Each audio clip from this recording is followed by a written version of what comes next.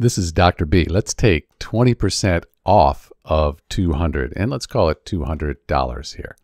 First thing you do, enter the original number. That's the $200. Then we're going to multiply by the percentage, the 20%, but we need it to be a decimal. So we're going to call it 0.20 or just 0.2.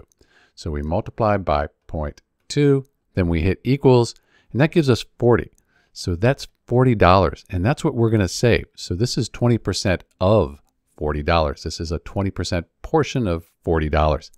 If we want the final price, we're going to take the original, the 200 right here, and then we subtract that $40. That's how much we saved. So 200 minus 40, that is $160. So our final price, $160. We saved $40 here. That's how you take 20% off $200. We're using a calculator to do this. Thanks for watching.